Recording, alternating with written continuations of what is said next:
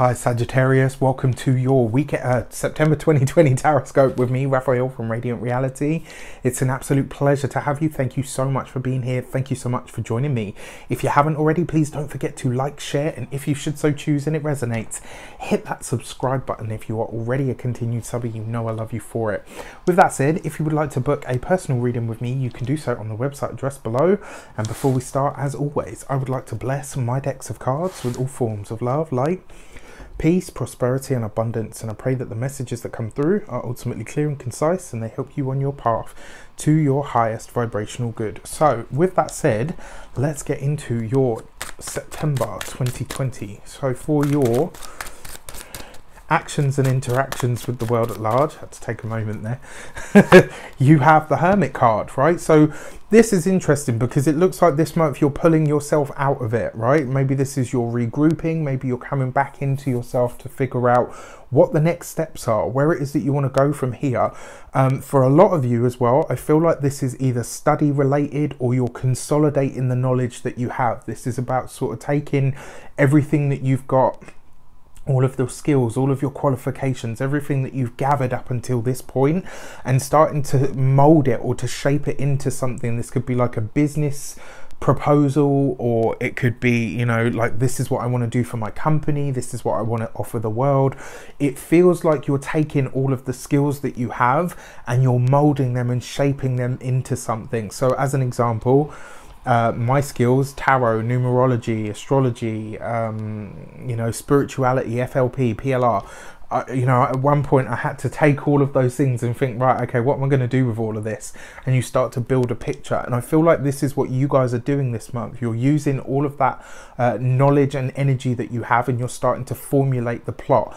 But the thing is, when you're doing that, very often you have to pull yourself, you have to do the hermit, right? You've got to pull yourself out of the wider world, forget what's going on there, forget what they're doing or any of that stuff. This much you are very much focused on yourself and staying in your own lane, which is great because when you stay in your own lane like that, you inadvertently end up creating a lane of your own. And that is what you want to focus on. So this is great, right? The other thing is as well, whenever the hermit card shows up, especially as an actions card, what do I always say to people? The hermit is what you do when the high priestess has a message for you. So, this month, by doing that, by putting yourself into a space of quietude uh, and solitude, maybe as well, you're going to allow your inner, um, your inner intuition and your inner, uh, your, you know, your inner wisdom to shine through. So, this month, pay attention to your intuition, pay attention to your dreams, because you never know what spiritual insights or hits you're going to get that could become very relevant or pertinent or important for you at a later moment in time. So, this is nice. For your money and materials, you have the uh, Knight of Swords. Now, it does look like you might be a bit hasty with the funds this month, right? Now, we've all been there, you know, we see something that is kind of, you know, on our paths or it's aligned with us or whatever, and we're like, take my money, you know, I want it now, give it to me. um, you know, there's definitely a possibility for that. Because Knight of Swords is basically saying this could be some fast or aggressive communication, or possibly it could be some fast or aggressive negotiations when it comes to something of a financial pursuit or a financial matter. Now, because it falls next to the Hermit card, it does feel like someone's trying to, it's almost like they're trying to leverage something over you and they want to get more money out of you or they're trying to squeeze more money out of you than maybe you're prepared to give or maybe than whatever it is that they're offering is actually worth. Um, my advice is, uh, uh, stop giving advice um, my what I would say to you is have the conversation, negotiate your tushy off because you guys are really good at that. You know, when it comes to push comes to shove, you guys can be very, very persuasive. So use that to your best advantage and don't back down. Not that you ever would, but you know what I mean. When it comes to your uh, home and environment, it looks like things are going to be quite upheaved there this month. Um, and again, look, this is kind of at odds with your hermit thing. You might have moments this month where you're like, you know what, I just need five minutes to think. You know, I just need 10 minutes of quiet time. Please give me a moment. Um, one of my brothers is a Sagittarius, and I can see this playing out for him already. So I'm quite intrigued to see how it's going to go. Um, for your uh, physical health and vitality, this could be where you could burn off some of that excess energy. Now, don't forget, Mars is going to go retrograde on the 9th of September. That's a trine energy for you, right? So, whether it's your sun, your moon, or your ascendant, and as I've been saying to all of the signs this month, when I tap into, when I do a reading for a sign, I'm tapping into the energy of Sagittarius. So, whether it's your sun that's there, your moon, or your ascendant, this energy is for you. It's general. Not all of these messages are going to be for everybody, and I'm okay okay with that. Um, you know, you shouldn't. Don't get me wrong. I love what I do, and I try to make it as accurate as possible. But I'm not out here trying to fix people's lives and be some sort of guru. It's not me. Uh, you know, run of the mill, everyday guy, me. Um, but yeah, that, that's why I'll say to you this month, you know, do something with that physical energy because you'll help burn off some of the mental anguish that you might be having. For your communications and conversations, you've got the Tower card next to the Knight of Swords. You could be having a bit of a blowout this month. There could be a conversation that reaches the point of screaming. Um, remember the tower card is where the shit hits the fan right and right next to that knight of swords whoever this person is that's trying to squeeze you financially may push the wrong button they might get you on the wrong day um, I feel sorry for them because it looks like they have no idea what they're going to be on the receiving end of. My the only thing that I will say to you try not to become a screaming harpy. I've done it a few times myself, and then you know when you sit back and you're like, oh damn, I need to chill. I try not to do it as, as I try not to do it very often. It's not very enlightened or wise, is it? You know, um, but uh, you know, human, right? That's what I say to everybody. I'm human. I have my days and my moments too. Um, yeah. So what you probably want to watch out for is this energy this month because it does look like there's going to be at least one conversation that centers around money in some way that could get very heated. All right, for your heart and half, you've got the um, Hierophant card. This is really nice, for, especially for those of you that are married. But what I will say to you is because it falls next to that Tower card, something about your relationship this month could come up for review and it may be that your partner says something to you or requests something from you that makes you go like hey what? How you know where did that come from? Um if that is the case, it's time for you to look at maybe the way that you're approaching things. It's not to say that anybody is in the wrong. It just it, it kind of feels like there's something here because remember this card is about the bigger structures or the institutions that we're tied to.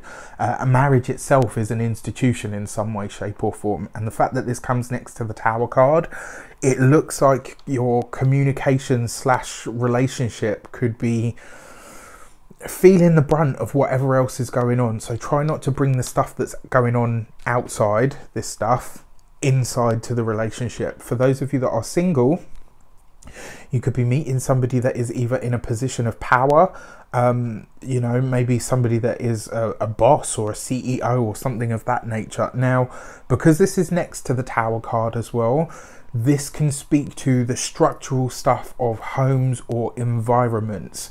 Um, I've been seeing a few signatures come up recently that look like earthquakes, um, that look like, you know, foundational stuff being. Um, and I feel like that's an environmental. Like when I see them, I call them interruptions. When when it's something that's not necessarily to do with the reading, but something you may very well be affected by. Um, so I don't know where you know all of you live, but just be aware of your surroundings because you might be feeling that this month. Let's have a look at some clarifiers and see what's going on for your weeks of the month. For your first week of September, you have the Tree of Life. This is a divine intervention or assistance in some way, shape, or form. I love this card because when I see it, it means that whatever you are doing, you are supposed to be doing. Wherever you are, you are supposed to be. And this comes right underneath your Hermit card, consolidating that knowledge, moving ahead in a specific direction when it comes to your skills, your vocation, all of that stuff. This is the way that you're supposed supposed to be going. If you are feeling like withdrawing and working hard on this and you're feeling that sort of OCD obsessive energy, stick with it because you're going in the direction that you're meant to be going in. All right. Love it. For your second week of the month, you have the Devil card. So something of a financial nature is definitely coming up, and it's been actually for you and for Scorpio. This looks like a really dicey month for finances, so just be aware of that energy.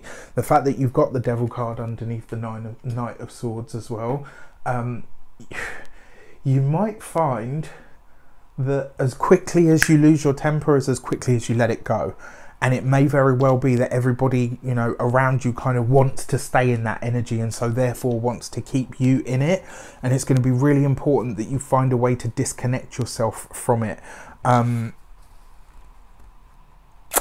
yeah that's as much as i'm going to say on that for your third week of the month you've got your card the temperance card right lovely so this is great because even though you have the tower card there there is a balm, there is a, a salve that can come to kind of cool the fire. Uh, this coming right underneath the um, temperance card as well, you could be hearing of a death that comes very suddenly, very shockingly, but um, it's. Uh, I almost feel like it's going to be a person of stature. I don't feel like this is going to be somebody that I feel like this might be somebody that the world knows or somebody that is famous in your locality or do you know what I mean? Um, on another level as well, this could be. Um, I feel like you may very well be drawn into some sort of drama that isn't actually yours, and then you end up kind of doing that whole piggy in the middle kind of energy where you're having to you know, stop two people kind of being at each other's throats. And all the while, you've got your stuff that you're trying to focus on. This month, you might have to prioritize what is actually important to you and what, and kind of who really isn't. For your fourth week of the month, you have the death card, right? So, yes, there is an ending or a completion coming up. Uh, and I do feel like it will be a physical death, and I feel like it may very well be in response to or as a result of some uh, cataclysmic kind of event. I don't know why, but I'm, I've been feeling for a while that we're about to see a big natural disaster. Um, I couldn't put my finger on it previously, but you know, a lot of the stuff that was previous came up in the weekly readings, so that was interesting. But yes, on a personal level, uh, those of you that are single, um, it really does look like it's just about the physical connection. I'm not sure it's for the long term. For those of you that are partnered, again, there's this energy that something about your relationship is about to change or evolve. Um, and I actually think that's a good thing. Uh, you know, I think if anything, it could make your relationship stronger in the long run. So, in the immediate, no matter how uncomfortable or discomforting it is, uh, try to go with it. All right. And then finally, for your key to the month, you have.